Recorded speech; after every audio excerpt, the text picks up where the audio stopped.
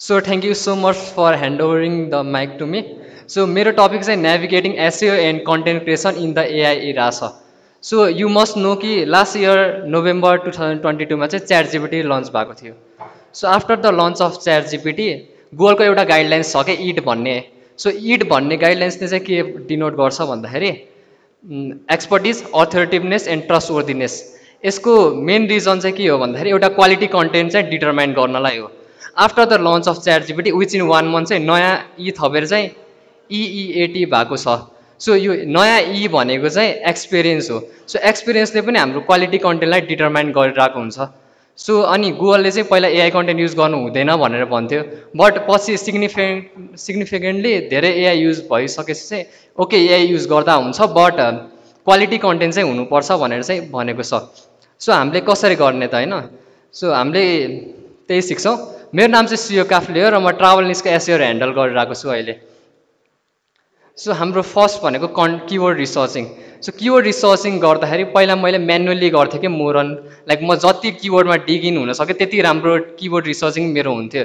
So अहिले चाहिँ अब धेरै किवर्डहरू रिसर्च गर्दाखेरि चाहिँ मेरो लिमिटेसनमा नि भर पर्थ्यो। लाइक कति मैले सोच्न सक्थेँ त्यही अनुसारको चाहिँ मेरो बेटर रिजल्ट आउँथ्यो किबोर्डको सो यो गर्दाखेरि मेरो लिमिटेसनमा चाहिँ हल्का किबोर्ड रिसर्चिङको असर हुन्थ्यो। बट हामीले एआई टुल्सहरू लाइक युज गऱ्यौँ भने चाहिँ एआई टुल्सहरूले चाहिँ हाम्रो एआई टुल्सहरूले चाहिँ हाम्रो डोमिनको आधारमा किबोर्ड ऱ्याङ्किङको आधारमा अनि प्रिभियस किबोर्ड इन्टेनहरू कस्तो छ र मेरो टार्गेटेड लोकेसन कता छ। सो यिनीहरू सबैलाई हेरेर चाहिँ नयाँ किबोर्डहरू सजेस्ट गर्ने भयो। You can also target this type of T keywords भनेर। सो यसरी चाहिँ किबोर्ड रिसर्चिङमा हेल्प भएको छ।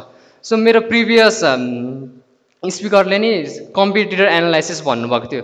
सो मैले चाहिँ सर्प एनालाइसिसमा चाहिँ अब समथिङ क्वेरी छ मेरो त्यसमा सर्च गर्दाखेरि चाहिँ मैले सर्प एनालाइसिस गर्नुपर्ने हुन्छ कि सो त्यो गर्दाखेरि चाहिँ मैले पहिला आफैले म्यानुअली त्यो वेबसाइटहरूमा गएर सर्प एनालाइसिस गर्नु पर्थ्यो बट अहिले चाहिँ धेरै कुराहरू चाहिँ टुल्सबाटै थाहा हुन्छ लाइक एभरेज वर्ड काउन्ट कति लेख्नुपर्छ सेन्टिमेन्ट पोजिटिभ लेख्ने कि नेगेटिभ लेख्ने इमेजहरू कति युज भएको छ। सो यसरी चाहिँ सर्प एनालाइसिसमा पनि मलाई हेल्प गरेको छ। So another is keyword researching पछि कन्टेन्ट क्रिएसन कन्टेन्ट क्रिएट गर्दाखेरि चाहिँ हामीले मैले चाहिँ फोर्टी सिक्सटी रुल एप्लाई गर्छु क्या फोर्टी पर्सेन्ट चाहिँ एआई हुन्छ। एआईको सजेसन एआईको फिडब्याक अनि एआईको चाहिँ कन्टेन्ट हुन्छ। भने सिक्सटी पर्सेन्टमा चाहिँ ब्रान्ड रिप्रेजेन्ट गर्ने कुरा किवर्ड किवर्ड इन्टेन्ट फोकस भएर गर्ने कुराहरू चाहिँ हुन्छ। सो यसरी गर्दाखेरि चाहिँ कन्टेन्ट क्रिएसनमा चाहिँ एउटा टाइम कन्ज्युम चाहिँ हल्का कम हुने भयो। अर्को भनेको चाहिँ जेनरल ब्लग पोस्टहरूमा चाहिँ मैले ग्राफिकहरू चाहिँ एआई जेनेरेटेड ग्राफिक ग्राफिकहरू चाहिँ युज गर्न पाएँ। सो यसरी चाहिँ कन्टेन्ट क्रिएसनमा मलाई एआईले चाहिँ हेल्प गरेको छ। So after content creation content optimisation content create गर्दाखेरि चाहिँ हामीले युजरलाई भ्यालु दिने कुराहरू चाहिँ मोरन गरिरहेको हुन्थ्यो भने कन्टेन्ट अप्टिमाइज गर्दाखेरि चाहिँ हामीले एसियोको बेस्ट प्र्याक्टिसेसलाई अन पेज अप्टिमाइजेसनहरूलाई चाहिँ फलो गरेर चाहिँ कन्टेन्ट अप्टिमाइज गर्छौँ क्या? सो कन्टेन्ट अप्टिमाइज गर्दाखेरि चाहिँ न्युरोन राइटरहरू छ. सो यो जिपिटी पछि आएको चाहिँ होइन न्युरोन राइटरहरू पहिल्यैदेखि थियो यिनीहरू युज केसमा सो न्युरोन राइटरले चाहिँ के गर्छ भन्दाखेरि सपोज मेरो एउटा किबोर्ड छ Everest base camp helicopter tour so मैले किबोर्ड हालेँ उसले चाहिँ मेरो कम्पिटिटरसँग ग्याप एनालाइसिस गरेर चाहिँ स्कोरहरू दिने भयो। वर्ड काउन्ट कति कति गर्नुपर्छ भनेर दिने भयो।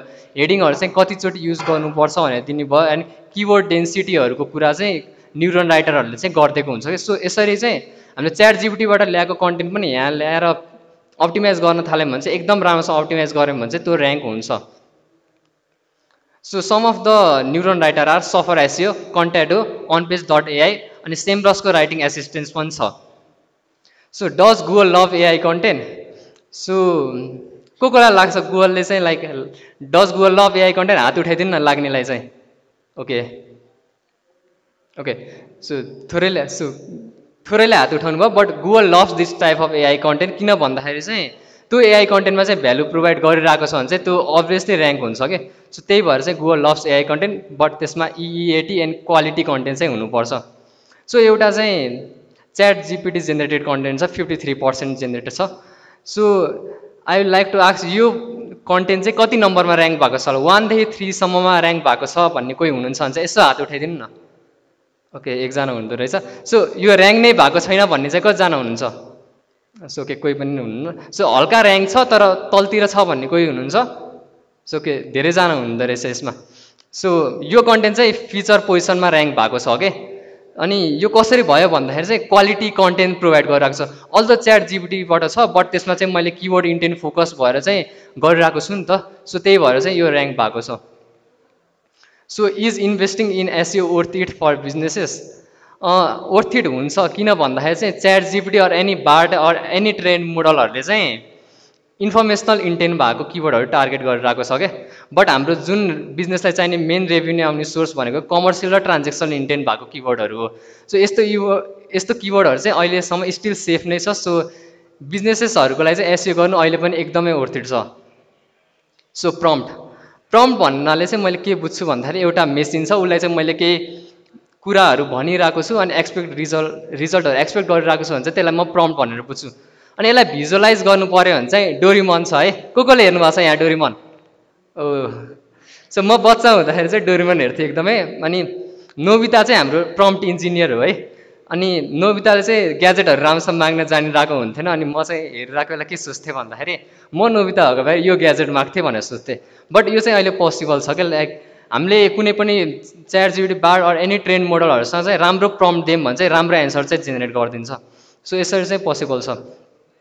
So some of the prompts are मैले युज गर्ने। Meta title and description meta title and description generate गर्नलाई चाहिँ मैले provide me ten meta title on topic अनि prepare another two column to rate one upon ten for clickability and relevancy so यसले गर्दाखेरि चाहिँ के भयो भन्दाखेरि चाहिँ उसले मलाई टाइटल जेनेरेट गरेर दियो अनि उता चाहिँ क्लिकेबिलिटी सो मेरो टाइटलको चाहिँ क्लिकेबिलिटी रेस रेसियो कस्तो हुनसक्छ त? किन भन्दाखेरि चाहिँ गुगलसँग डाटा छ नि त क्लिक गर्छ कि गर्दैन भने थाहा हुन्छ उसलाई. सो यसरी गऱ्यौँ भने चाहिँ हाम्रो क्लिक थ्रु रेट पनि बढ्छ क्या। So another is topical cluster मेरो एउटा मेन टपिक छ अर पिलर पेज छ त्यसलाई ऱ्याङ्क गर्नलाई चाहिँ मैले सब टपिकमा बोलिराख्नुपर्छ। सो निरजले पनि उहाँले पनि त्यही भनिराख्नु थियो। सब टपिकमा बोल्दै गएपछि टपिकल अथोरिटी बढ्दै जान्छ।